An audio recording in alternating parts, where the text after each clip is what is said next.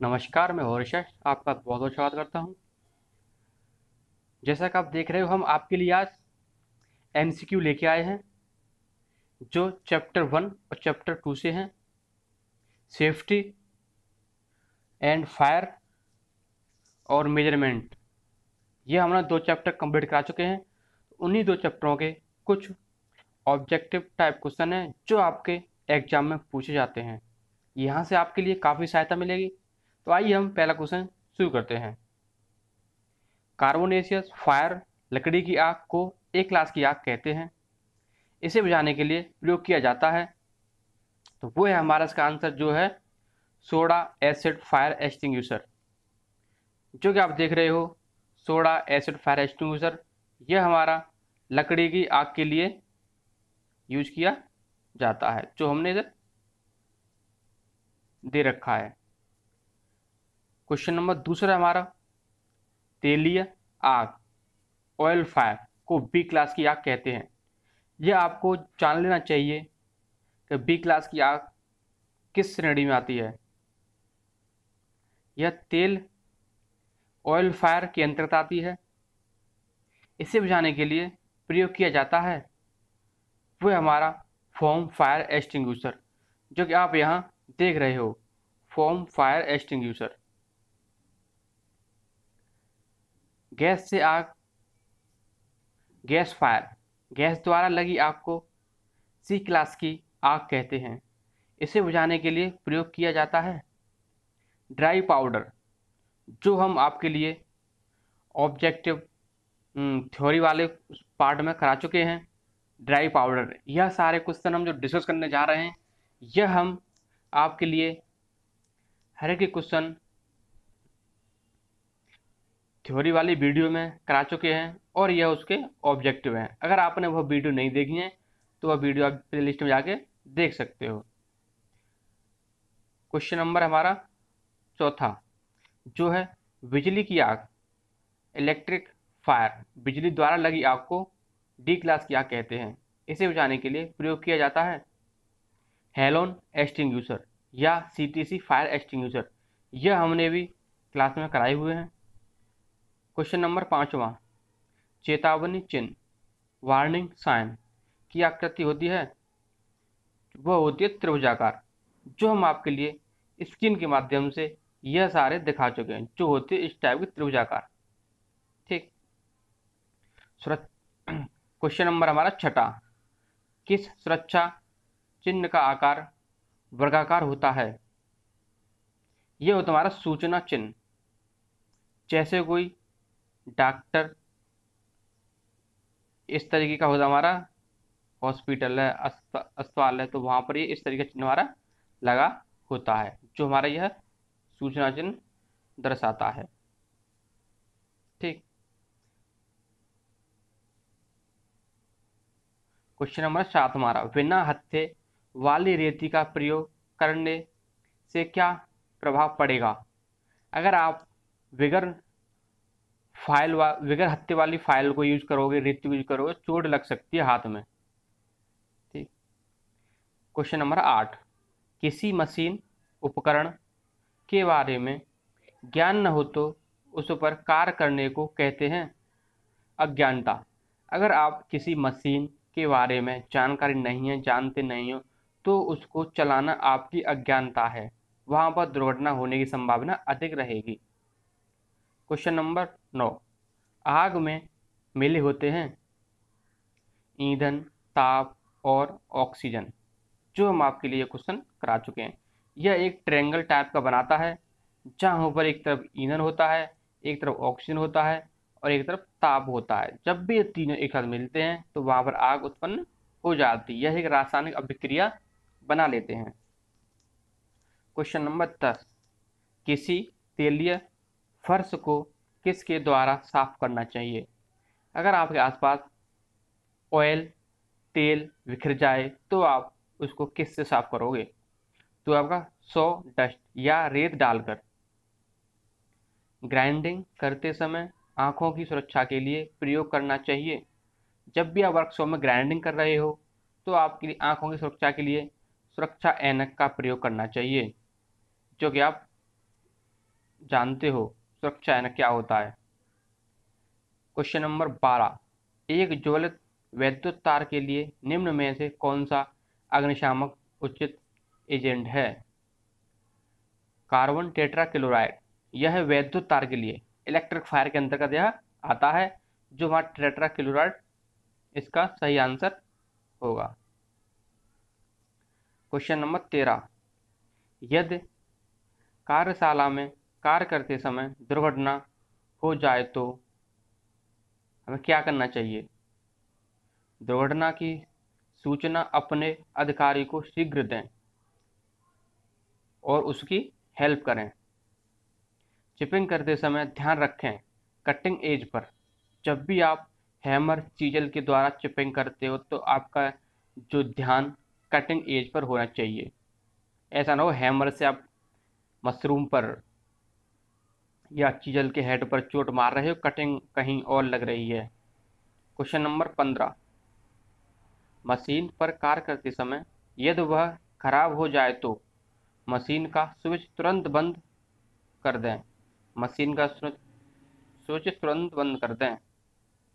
यदि बिजली की तारों पर लगी आग को बुझाया, बुझाना हो तो C T C fire extinguisher का प्रयोग किया जाता है।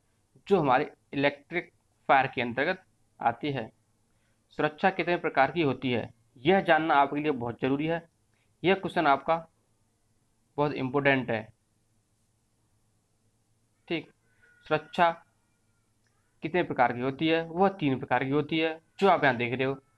निजी सुरक्षा, साधारण सुरक्षा और मशीन की सुरक्षा। अब हम देख क्वेश्चन आते हैं मेज़रमेंट से। स्टैंडर्ड रूल की अल्पमांक होती है, जो हमारी स्टील रूल की लिस्ट काउंट होती है, वह होती है एक बट्टे दो एम mm या पॉइंट फाइव एम mm और इंच में होती है हमारी एक बट्टे चौंसठ इंच। यह क्वेश्चन आपको याद कर लेना ही चाहिए। यह क्वेश्चन आपसे पूछा ही जाएगा एग्ज़ाम में। बहुत मोस्ट इम्पोर्टेंट क्वेश्चन है आपका ये। साफ्ट पर की वेज चावी घाट की मार्किंग करने के लिए किस रूल का प्रयोग किया करेंगे? जो है हमारा की सूट रूल किसी वेलनाकार जॉब या पाइप पर उसके अक्ष के समानांतर रेखाएँ खींचने के लिए किस रूल का प्रयोग किया जाता है? वो हमारा की सीट रूल क्वेश्चन नंबर चौथा। अभियांत्रिकी की गुनिया का साइज़ लिया जाता है। हमने आपके लिए ट्राई स्क्वायर पढ़ाया था, जो आपका इसी के ऊपर बेस्ड है। स्टॉक के अंदरूनी सिरे से ब्लेड के अंतिम सिरे तक। जैसा कि हम आपके लिए यहाँ बना के दिखा दें, यह आपका मान लो ट्राई स्क्वायर है और ये आपका है स्टॉक ये आपका स्टॉक है और ये आपका ब्लेड है। तो आपके इसके ट्राई स्टॉक के अंदरूनी सिरे तक, यहाँ से और ब्लेड के ऊपर की सिरे तक, यहाँ से टोटल इसकी लंबाई ली जाएगी। ठीक। आइए चलते हैं नेक्स्ट क्वेश्चन की ओर, जो है हमारा पांचवा। ट्राई स्क्वायर अभियांत्रिकी गुणिया के स्टॉक के अंदरूनी सिरे पर एक अंटर कट लगा होता है, जिसका उद्देश्य है, जिसके लिए हमने आपके लिए जब वीडियो में ट्राई स्क्वायर बना के दिखाया था तो उसके बारे में सारी चीज़ें बताई थी। वर्ग को स्थान देने के लिए जब भी हम ट्राई स्क्वायर के द्वारा किसी जॉब की सात वाली भुजा या समतलता को चेक करते हैं तो उसका वर्ग होती है। तो वह उसको स्थान देने के लिए यूज़ किया जाता है। क्वेश्चन नंबर छठा। साधारण कैलीवर का साइज़ लिया जाता है। हमारा जो कैलीवर होता है, उसका साइज़ कहाँ से कहाँ तक लिया जाता है? रिविट के सेंटर से वर्किंग पॉइंट तक। अगर आपको क्वेश्चन समझ में आ रहे हैं तो अच्छी बात है, अगर नहीं आ रहे हैं तो सबसे पहले जाके आप उन वीडियो को देखिएगा, जो थ्योरी वाली मैंने बनाई है। उसके बाद इन ऑब्जेक्टिव क्वेश्चन को आप आसानी से बना पाओगे। रिविट के सेंटर से वर्किंग पॉइंट तक। जो रिविट होती है, उसका हमें सेंटर लेना है, उसके बाद हमें नीचे उसके वर्किंग पॉइंट तक उसकी माप लेनी है। क्वेश्चन नंबर सात। दस हज़ार माइक्रोन किसके बराबर होता है? ये होता हमारा एक हज़ार एम एम के, दस एम एम के। ट्राई स्क्वायर का ब्लेड बना होता है। यह होता हमारा हाई कार्बन स्टील या carbon steel. Standard steel rule बना होता है स्प्रिंग स्टील का। क्वेश्चन नंबर दस। सेंटर हेड का प्रयोग किया जाता है। जो हमारा वर्नियर प्रोडक्टर पे सेंटर हेड होता है गोल जॉब का केंद्र ज्ञात करने के लिए लेत बेड की समतलता का निरीक्षण किया जाता है। कास्ट आयरन स्टैंडर्ड एज द्वारा।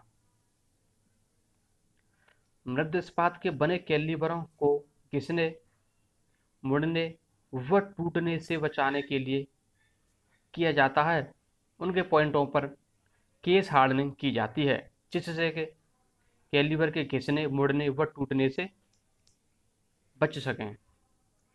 क्वेश्चन नंबर तेरह इनसाइड कैलिवर की दोनों टांगें मुड़ी होती हैं। आपके लिए हम यहाँ बना के दिखाते हैं। आपने वीडियो नहीं देखा है तो आप जाके पहले वीडियो देखिएगा। आपको क्वेश्चन काफ़ी है, मिलेंगे। यह आपका इस टाइप का होता है इनसाइड कैलिवर आपसे यह पूछा जा रहा है कि ये जो है, यह आपका कितने डिग्री पर मुड़ा मुड़ा हुआ है। ठीक। ये आपका है 45 डिग्री पर। इंसाइड कैलिबर दोनों टांग बाहर की तरफ़ या 45 डिग्री पर मुड़ी हुई है। ट्राई स्क्वायर का आकार किसके द्वारा व्यक्त किया जाता है? तो वो होता है हमारा ब्लेड्स, ब्लेड के द्वारा, जो हम आपके लिए पीछे बता चुके हैं। स्टील रूल की सहायता से कम से कम कितनी माप ली जा सकती है? तो वो ली जाती है पॉइंट फाइव एम एम